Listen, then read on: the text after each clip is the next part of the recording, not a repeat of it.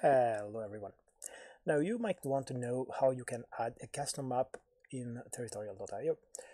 And uh, now, first of all, if you want to play a map like Europe or one of those maps, you don't have to click custom. You can single player, click maps, and here you can choose among many, many maps that are really good.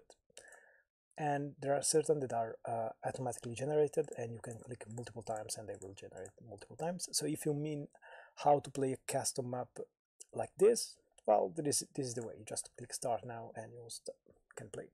But if you want to make your own map you can do it.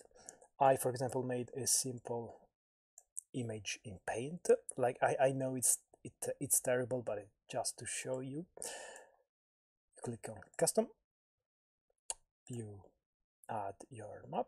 It's just a an image file. In this case it's a png it's really easy and here you can see that it loaded the map not all colors are going to be recognized as uh, land by the game. For example black is not going to be recognized.